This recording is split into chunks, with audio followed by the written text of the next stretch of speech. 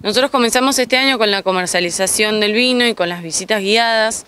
En un principio teníamos ideado comenzar en marzo, pero con el tema de la pandemia tuvimos que posponer las visitas. Nosotros principalmente estamos comercializando el vino a través de nuestra tienda online o venta directa desde la bodega.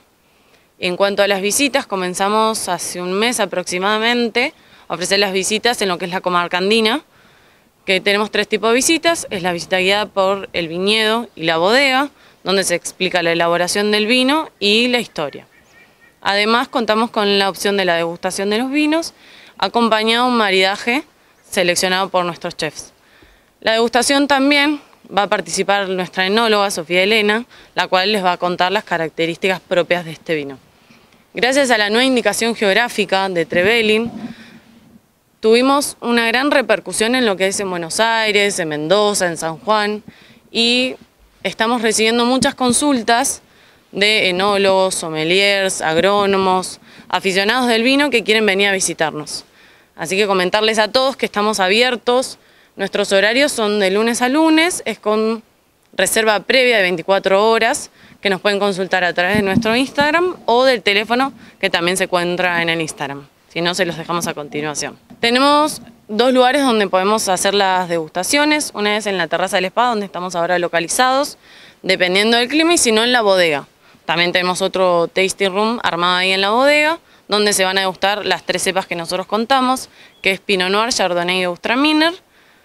Ahí los vamos a degustar la cosecha 2018 y 2019. Exactamente, el 15 ya tenemos la primera visita de aproximadamente 15 personas van a venir obviamente con todos los protocolos, el distanciamiento social y mm, después tenemos varias reservas para la primera semana de enero, varias consultas para fines de enero y en febrero, todo muy sobre la fecha porque bueno, por el tema de las, de las fechas que se fueron definiendo ahora.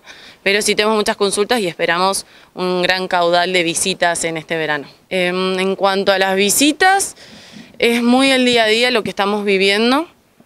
Podemos programar, pero es muy a futuro en realidad.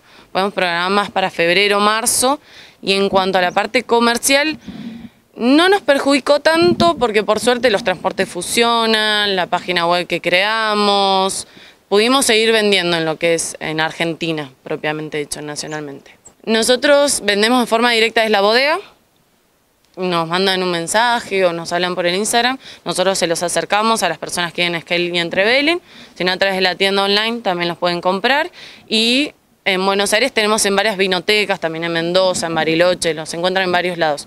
Si nos consultan nosotros les podemos indicar dónde es el sitio más cercano para eh, conseguir nuestro vino.